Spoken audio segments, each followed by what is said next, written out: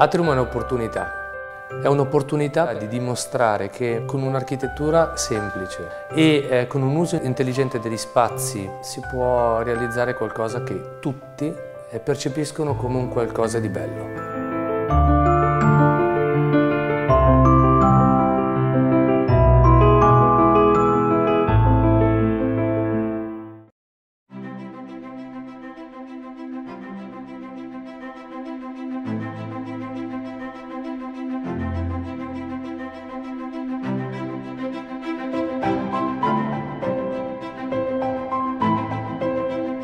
Faccio parte ormai da 15 anni di JPUS, che è una società di architettura e ingegneria che ha sede a Concorrezzo, vicino a Monza.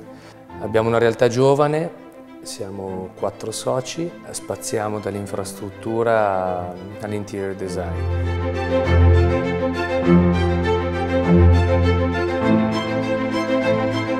Atrium nasce da un esperimento che era stato fatto qualche anno prima che prevedeva la creazione, la progettazione di un modulo tipo che potesse essere totalmente sostenibile, smontabile che avesse tutti i criteri di sostenibilità progettuale. Il committente, il cliente, Alpe, dottor Robuschi, avendo questa area e non sapendo bene come svilupparla, nell'agosto del 2012 ha interpellato qualche studio a livello nazionale per, eh, per fare un concorso privato, un concorso di idee che potesse dare degli spunti, immagino, o comunque dare delle nuove visioni. Noi abbiamo voluto osare, abbiamo proposto un quartiere che in Italia, almeno sino ad allora, non c'era, cioè un quartiere totalmente green, totalmente realizzato con edifici 100% legno e un quartiere che potesse risultare come un segno nuovo eh, rispetto al territorio stesso.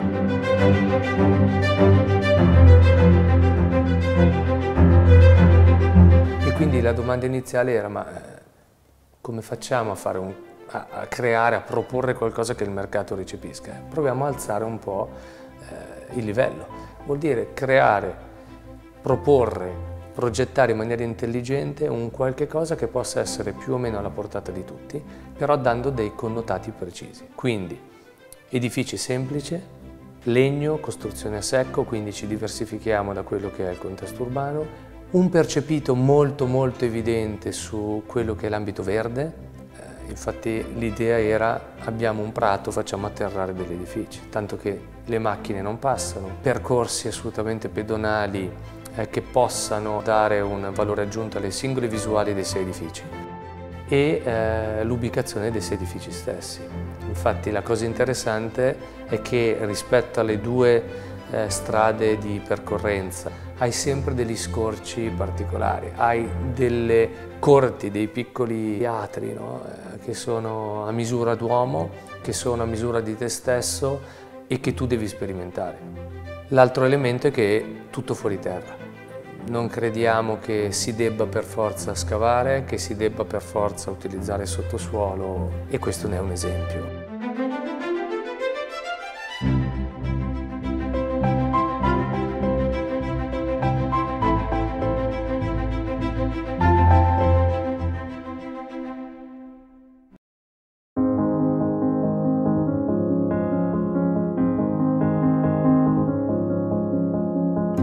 Atrium come nasce? Con pianta libera, con facciate libere, con una predisposizione impiantistica molto molto flessibile, con eh, n scenari di layout che possono essere sviluppati anche nel tempo, con eh, delle superfici molto facili da manutenere, da pulire, da conservare e che allo stesso tempo però generino quel senso di qualità e di freschezza che noi abbiamo sempre voluto. Siamo partiti da un 150 m2 di modulo tipo fino a 350 che potesse essere suddiviso nel tempo sia in orizzontale che in verticale.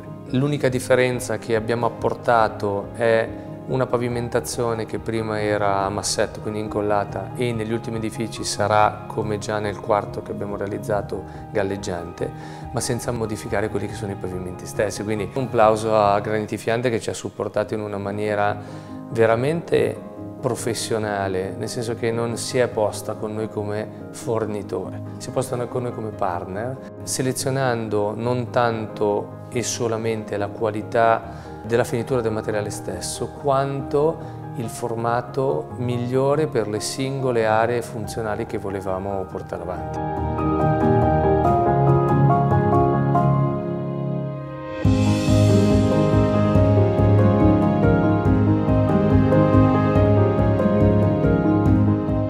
Fine è stato scelto di utilizzare un grès porzionato, una ceramica importante, con però delle qualità e delle finiture dei formati diversi. L'alternativa sarebbe stata una pietra.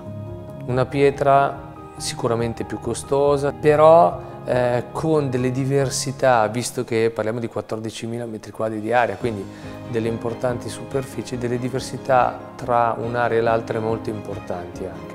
E quindi noi volevamo omogeneità, anche se abbiamo deciso di diversificare i percorsi, quindi fuori eh, su tutte le aree esterne i percorsi pedonali sono un legno molto chiaro che dia molta chiarezza su quelle che sono le linearità eh, progettuali e i flussi. Le piazze, le varie piazze che, che, abbiamo progettato sono di un formato molto più grande, di un colore antracite e quindi con un riscontro e un contrasto tra l'elemento verde e l'elemento di arredo urbano che è molto chiaro e bianco che ne faccia risaltare quelle che sono le linearità della progettazione.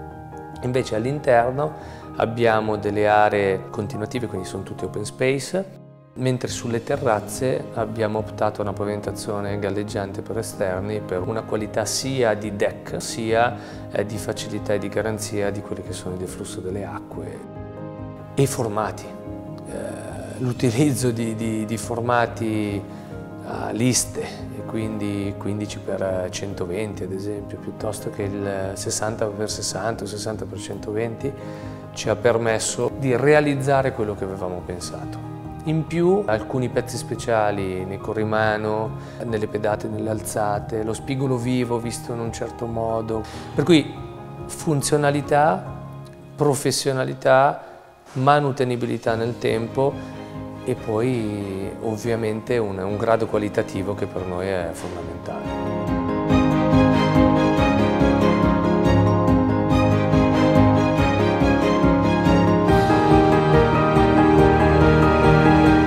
L'elemento essenziale dei sei edifici, che non hanno nome particolare, che non hanno tratti particolari peculiari, è il corpo scala. Il corpo scala totalmente in legno, il vano ascensore in legno, le scale in legno, eh, lasciate a vista per la maggior parte, hanno tutto un rivestimento in grass. E la lastra spesso è stata adattata alla progettualità in modo tale da valorizzare ancora più un elemento centrale che di giorno e di notte dovesse far parlare l'edificio. Sono assolutamente convinto che le pavimentazioni gestite in questo modo diano quel valore aggiunto di flessibilità, di funzionalità e di percepito qualitativo che, che è quello che un po' Atrium si aspettava.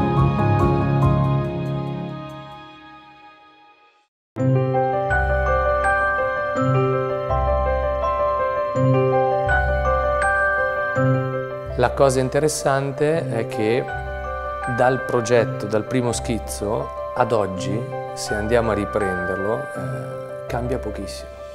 Quindi quello che è stato il valore aggiunto è stato che sin da subito l'idea concettuale è stata sposata dal cliente ed è stata sempre di più perfezionata nel corso dei lotti.